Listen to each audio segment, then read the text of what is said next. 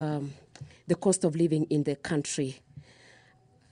Uh, this, uh, the bill says that Section 5 of the Value Added Tax 2018 is amended in subsection 2 by deleting paragraph A and by deleting bar- paragraph 2AB.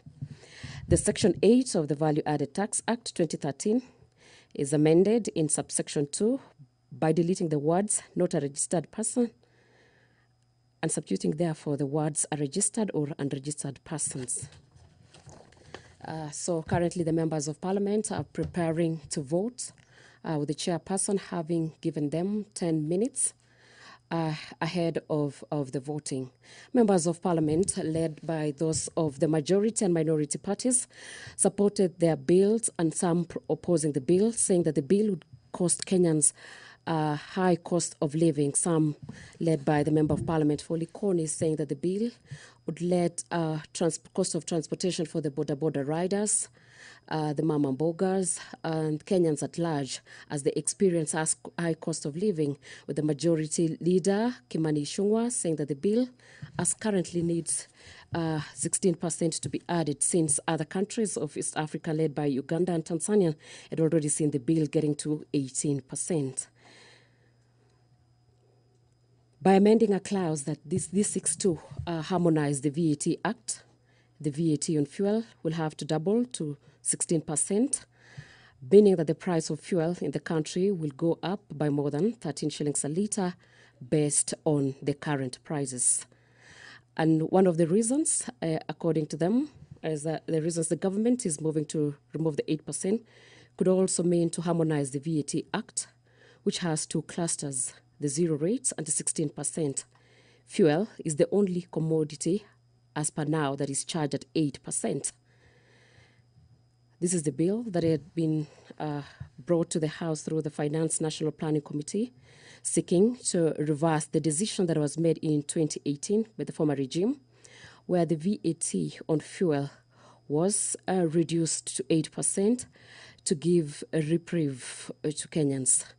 This means by amending a clause, this seeks to harmonize the VAT Act, the VAT on fuel, which is going to uh, increase to 16%.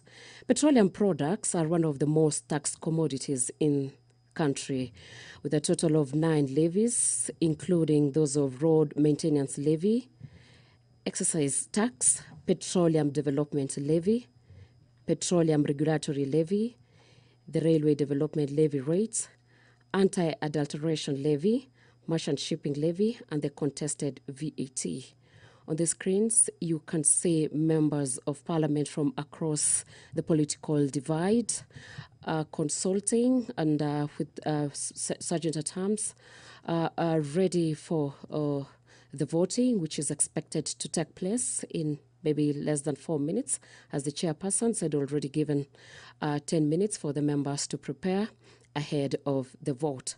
Remember, today members of parliament, uh, uh, through the leader of majority, was seeking uh, for more time to sit and to discuss the finance bill 2022-2023, with sittings extended from today this afternoon to 12:45.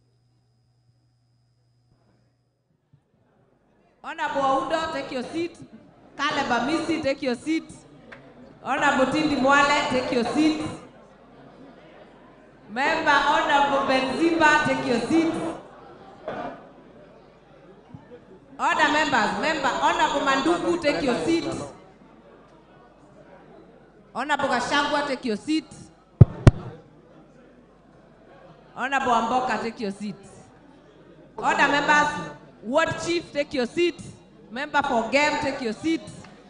Other members, honorable members, I wish to remind you about decorum during division, standing orders number 76, part 4.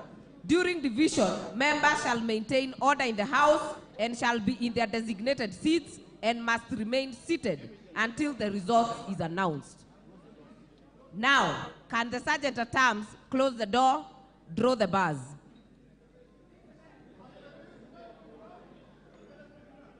The two sides